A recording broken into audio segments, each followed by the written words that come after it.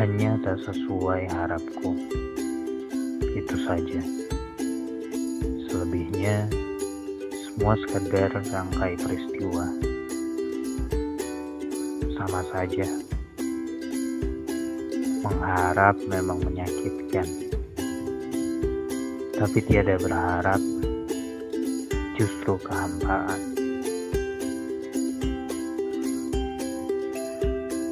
Ibu tak pernah berkata hidup seperti sekotak coklat. Sebab ia tak sepuitis itu. Baginya, hidup seperti rangkaian uji coba. Lakukan, gagal, cari lagi. Dunia memang menyakitkan tapi tiada waktu untuk berhenti. Dalam langkah usahamu, menangislah. Tapi tangan dan kaki tiada diam.